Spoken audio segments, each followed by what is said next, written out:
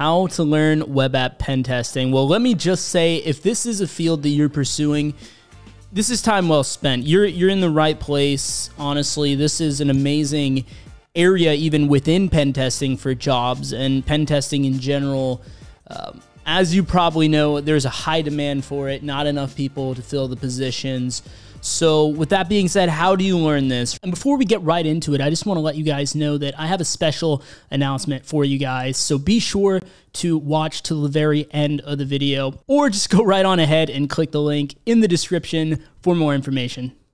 When I first got into this field, I did everything on my own. You know, basically, I, I pretty much learned everything on my own before the days of TryHackMe, before the days uh, I mean, Hack the Box existed, but it was not very approachable. So there wasn't nearly as much content out there either, even on YouTube and stuff like that. I remember watching a few things from like Hak5 back in the day and finding some articles on uh, Null Byte Wonder How To on you know how to how to do different things with Metasploit and how to take screenshots from your webcam. And I remember when I hacked my laptop across the room and took a screenshot of myself on my desktop. I just thought I was the most elite hacker in the world, but I mean, I had no plan, right? I didn't have a, a, plan. I didn't have a structure. I certainly didn't have anything that was field tested to where I knew that, hey, if I just execute on the on these steps, that I could get into this field. So a lot of it for me was really kind of trial and error, and even I'm going to be honest with you, it was getting lucky as well for me because I ended up once I got my first job in IT, not even in cybersecurity, my current boss, he left, went to another team, and the manager that came in used to uh, run the cybersecurity program over there. So he was able to really get me in front of the right people in order to get over there. And then once I was there, I was able to more easily figure out what I should be spending time on because I was surrounded by people that were professionals in the field.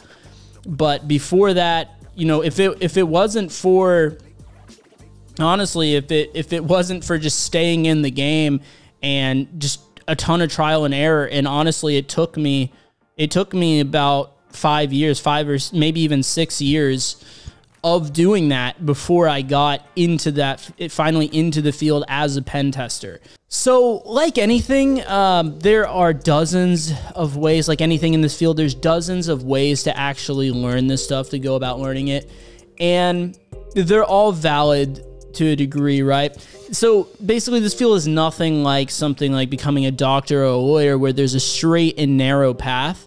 There's actually tons of different ways you could go about learning it. So, in effort to really simplify everything here, I'm going to break it down into two categories for you. So you have free options and you have paid options. Let's start with the free options, right? So with free, I'm kind of lumping in the really um, super cheap platforms that you can use as well. Things like TryHackMe, Udemy, um, any anything like that, where it's only a couple bucks a month um, because to learn it 100% free, I don't even think most people are doing that anymore in this field.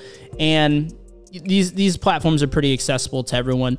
So now that you have platforms like that, you know, it has sped up the process a lot. But the main issue with trying to learn this for free is that it's going to you're going to run into the issue of time. So what is the timeline actually look like? What I would say is that it typically looks like something between three and five years of uh, of study on your own in order to become a pen tester employed in the field uh, from from the beginners level. So that is that's what I and and the reason for that, the reason why it takes so long is that when you're learning this stuff on your own, you're gonna have to make I would say like 80 to 90 percent of the mistakes. You're just gonna have to make them and figure out that they're mistakes in order to proceed. So you're not going to have the foresight and knowledge of, you know, a mentor, someone that's already someone that's already in the field, someone that's already had that experience and made those mistakes. Instead, you're going to have to to learn that on your own. And one nice thing now about some of these platforms out there, like TryHackMe, they have the learning paths. They've kind of done a decent job of putting a path together for you but with that being said, it's still very cookie cutter, right? And we're all different in our goals, what we want to do and what we want to focus on, what we're what our inclinations are are different, right? And so it's better than than nothing. It's definitely better than it was before where you would have to custom craft every little pathway. But still with that being said, even though they have multiple paths and things like that, uh, it's still a bit more nuanced than that uh, because we have our own inclinations. We have things that, you know, no no two cybersecurity professionals' journeys are the same, and their interests are just not the same. So that's more of like a one size fits all approach, or maybe a couple sizes fits all approach to it as well. And um, yeah, so that's the issue. So that's mainly the issue with with the free is that basically, even if you get stuck or anything like that, you know, you're going to have to kind of figure it out on your own. Or you know nowadays there are other content creators right? You could you could ask me questions on my on my youtube channel. I know a lot of you guys do that and i try to provide help whenever i can uh, in that regard. And i know that there's a lot of live streamers they're good content creators good uh, good pen testers right? You could ask them questions as well but the thing is it's still, you know, versus paid, you're not getting as detailed information. You're not getting as much individualized attention as you could be. Let's jump over to the paid category. Now with paid, the nice thing is is that you get to shortcut a lot of the issues that you run into on the free or super cheap, you know, category because the thing about paid is, especially if it's some kind of live training, group training is something that I've become a huge, huge proponent of. And to be honest with you guys, you know, comparing to the beginning story where I did it all on my own, it took me so long. And since then, I have learned a lot of things and developed a lot of skills in life by doing the group coaching route. And I will say there is no comparison. There's absolutely no comparison.